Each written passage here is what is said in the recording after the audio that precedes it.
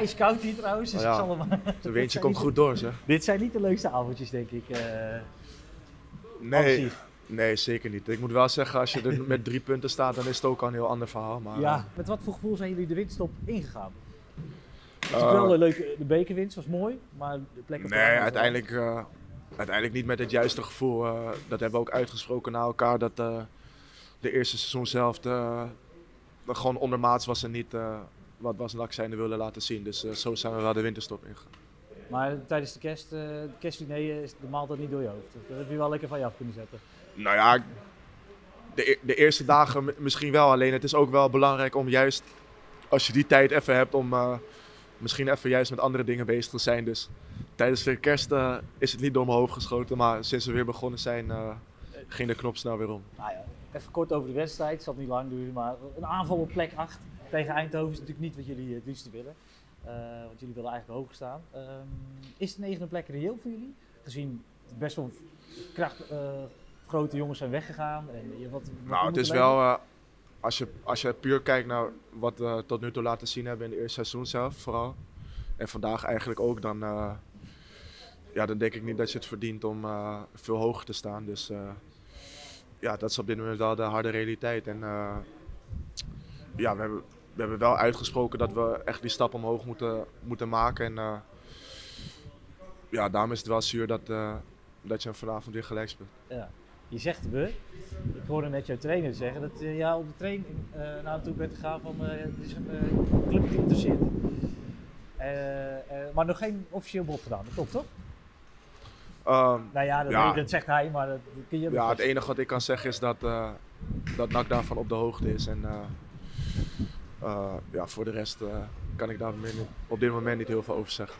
Ja, je weet dat je heel veel NAC-fans verdriet doet, hè? want er staan overal, ik heb al die wedstrijden met uh, haaien moet blijven, dat, uh, dat hoor je nu niet van de tribunes af. Ja. ja dat is wel, uh, wat doet dat dan met je? Je maakt het dan moeilijker? of, zo, of neem je dat mee? Nou ja, het is wel, ik krijg het ook heel veel mee en ja, van de zomer ook al. En ja, ik heb sowieso uit het, uitgesproken dat ik ja, me hier heel prettig voel in deze omgeving. En dat ik het ook mooi vind dat ik die waardering op die manier krijg. Dus ja, ja dat is aan de ene kant wel iets wat ik uh, sinds ik bij NAC speel ook wel uh, gekoesterd heb. En uh, ja, daarin zou ik altijd een afweging maken. En ja. daarom heb ik ook gezegd dat als ik een stap maak, dat ik er wel echt sportief op vooruit wil gaan. En ja, anders... Ja, ge geen degradatievoetbal hoorde ik je net al zeggen. Nou, voetbalzone, razende reporter, heb je al een scoop dan? Want welke club is het dan?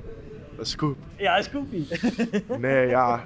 ja, wat ik net zei, dat is, het is lastig om te zeggen. En het, ja, op, het, op het moment dat, dat, het echt, uh, dat het echt serieuzer wordt, dan, dan zal er wel iets uh, over gezegd worden. En, en als dat uiteindelijk niet zo is, dan, uh, dan is het denk ik alleen maar beter dat ik er nu ook niks over gezegd Wat mogen de NAC-supporters, ja, of dat dan met of zonder jou is, van, van NAC verwachten?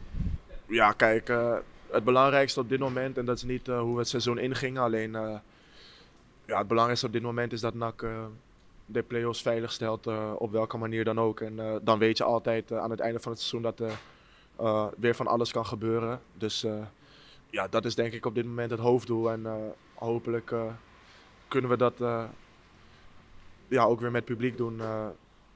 Als dit een beetje overgewaaid is weer. En dan kan er, kunnen er nog een hoop gekke dingen gebeuren. Dus dat is eigenlijk het belangrijkste. Dat je gewoon uh, ja, je goed kwalificeert voor die play-offs. Ja, want de laatste vraag. Wat, wat is nou eigenlijk het mooiste aan NAC voor jou?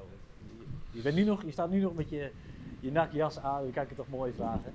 Ja, ik denk dat het, het mooiste aan NAC is toch uh, de hele achterban en, hoe, en hoe dat leeft. Uh, ik, ik heb dat in mijn carrière, carrière nog niet eerder zo meegemaakt bij een club. En, uh, ja, het is lastig uit te leggen voor mensen die zo'n avondje zelf nog nooit hebben meegemaakt. Maar ik zou zeggen, uh, het is, uh, ook als je geen supporter bent van NAC, is het, is het een uitje waard om hier op een vrijdagavond in een vol stadion te zitten. Want dat is wel echt een ervaring op zich. Dus dat is wel iets wat deze club altijd speciaal zal maken. Ja, het is mooi hoor. We gaan naar binnen man, het is hier ijskoud Ja, en we waaien weg. Is goed.